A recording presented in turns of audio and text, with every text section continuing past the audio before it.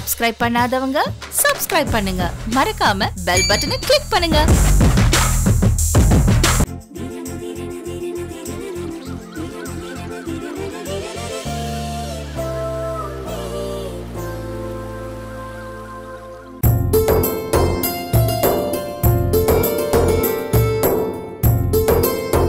ஏங்க நல்லா தான் பளிச்சுன்னு தொடச்சிருக்கீங்க.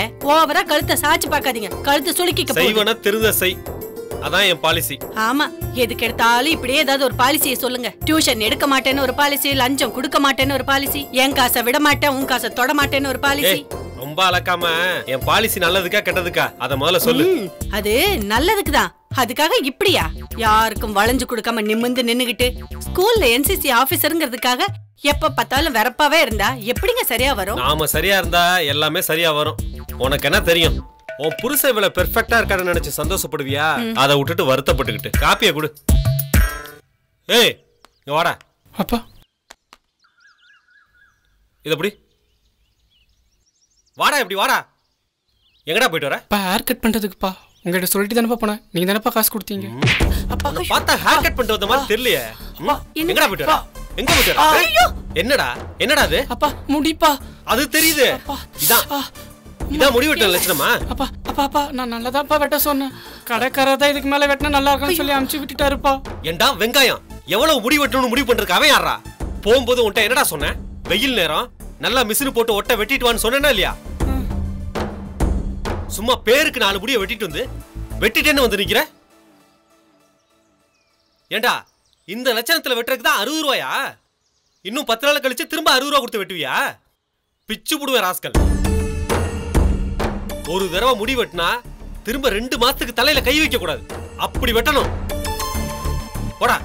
போய் கொடுத்த காசு ஒழுங்கா வெட்ட சொல்லு. பின்மண்டையில முடியே இருக்க கூடாது. இருந்துச்சு நீயும் காலி அந்த கடைக்காரனும் காலி. போ. போய் நல்லா வெட்டுவா போ. அப்பா அப்பா அடுத்த வாட்டி கரெக்டாக வெட்ட சொல்கிறேன்ப்பா போடா. போடாங்கறல நீ என்ன பாக்குற? இல்லங்க சும்மா தான் பார்த்தேன். சும்மாவும் பார்க்க வேண்டாம் சுமந்துக்கிட்டு பார்க்க வேண்டாம். வேலை வெட்டி இல்லைன்னா வாளியில கொஞ்சம் தண்ணி கொண்டு வா. வண்டியை கழுவணும். ம். ஏய். காஃபியை கொடுத்துட்டு போ. காசோட அருமை யாருக்கு தெரியுது? கொள்ளை அடிக்கிறவன் கொட்டி கொட்டி கொடுப்பான். நேர்மையா சம்பாதிக்கிறவன் எண்ணி எண்ணி தான் கொடுப்பான். அது புரிஞ்சாதானே? வட சாம்பிரா நீங்க. அப்பா நான் தொடக்கட்டுமாப்பா அதெல்லாம் நான் பாத்துக்கிறேன். என்ன ஸ்விம்மிங் கிளாஸ் போயிட்டு வந்தியா? ஆ போயிட்டு வந்துட்டேன்ப்பா. ஆ, கோச்சுக்கு ஃபீஸ் கொடுக்கணும் நீ கொடுத்துட்டியா? ஆ கொடுத்துட்டேன்ப்பா. ஒழுங்கா சொல்லி கொடுக்குறாரா? ஆ சொல்லி கொடுக்குறாருப்பா. நீ கவனமா கத்துக்கிறீல்ல? கத்துக்கிட்டு இருக்கேன்ப்பா. ஆ அது ரொம்ப முக்கியம். இந்த பாரு பொழுது போகணுங்கிறதுக்காக உன்னை ஸ்விம்மிங் கிளாஸ் அனுப்பல. நாளைக்கு மேல் படிப்புக்கு போகணும் வேலைக்கு போகணும் இந்த மாதிரி சமயங்கள்ல ஸ்போர்ட்ஸ் கோட்டாவிலாச்சும் உனக்கு இடம் வாங்கணுங்கிறதுக்காக தான் இதெல்லாம் பண்ண சொல்றேன். புரியுதா? ம் புரியுதுப்பா. எதையும் ஒழுங்கா கத்துக்காம அப்பா எனக்கு வேலை கிடைக்க மாட்டேங்குது. வேலை வேணும்னா லஞ்சம் கேட்கறானுங்க அப்படின்னு அப்பாட்ட வந்து கேட்டேன்னு வச்சுக்க உங்க அப்பாட்ட ஒன்னும் பேராது. லஞ்சம் கொடுத்து ஒரு நல்ல வேலைக்கு உன்னை சேர்க்கறத விட கூலி வேலைக்கு தான் உன்னை அனுப்புவேன். புரியுதா? புரியுதுப்பா. சரி. கோச்சுக்கு ஃபீஸ் கொடுக்கறதுக்காக காலைல காசு கொடுத்தல அதுல மிச்ச காசு கொடு. அப்பா கோச்சி கொடுத்தது போக பஸ் காசு மிச்சம்ப்பா எங்கடா மீதி பத்து ரூபா? அப்பா கண்டக்டர் சில்லற இல்லைன்னு நீ இந்த பக்கம் தானே போக வர நாளைக்கு கொடுத்துறேன்னு சொன்னார்ப்பா. ஐயோ. அறிவு கட்ட முண்டம் நாளைக்கு வாங்கிக்க அவன் சொன்னா அப்படியே நீ வந்துடுறதா? இல்லப்பா சில்லற இல்லைன்னு. ஏண்டா இதே நீ சொன்னா அவன் ஒத்துக்குவானா? இன்னைக்கு என்கிட்ட சில்லற இல்ல டிக்கெட் காசு நாளைக்கு தரேன் அட்ஜஸ்ட் பண்ணிக்கன்னு சொன்னா கேட்பானா அவன்? கேட்க மாட்டான்ல. அவனுக்கு ஒரு நியாயம் நமக்கு ஒரு நியாயமா? இருந்து காசை வாங்கிட்டு வரதுக்கு என்னடா உனக்கு? சாரிப்பா. நாளைக்கு மறக்காம வாங்கிட்டு வந்துடுறேன். நாளைக்கு அவன் அந்த ரூட்ல வரலனா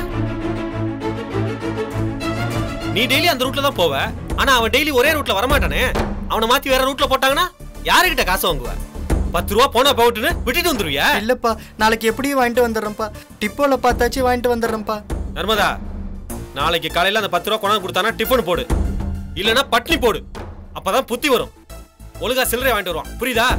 போ. வாடா. ஏய் வா. சாப்பிட்டு படுத்து தூங்கிறாத காலையில தூங்குனா உருப்படப்பட்ட. உன் தம்பி வந்தது அவனை கூட்டு விளையாட போயிடு. என்ன? காலையில பிரிஸ்கா இருக்கணும்.